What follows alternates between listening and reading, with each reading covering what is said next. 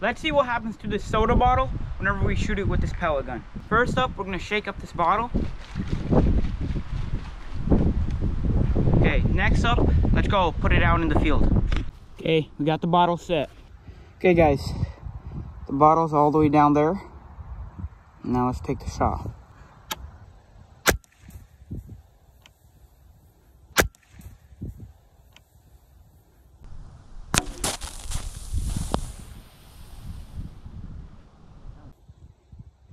That was a tall fountain. Okay, let's go check out the damage. There's still quite a bit of soda in here. Here's where it hit. It looks like I hit right on the side. It barely hit it. Squirted all over the GoPro. Thanks for watching, everybody. Make sure you like and subscribe. See you guys next time.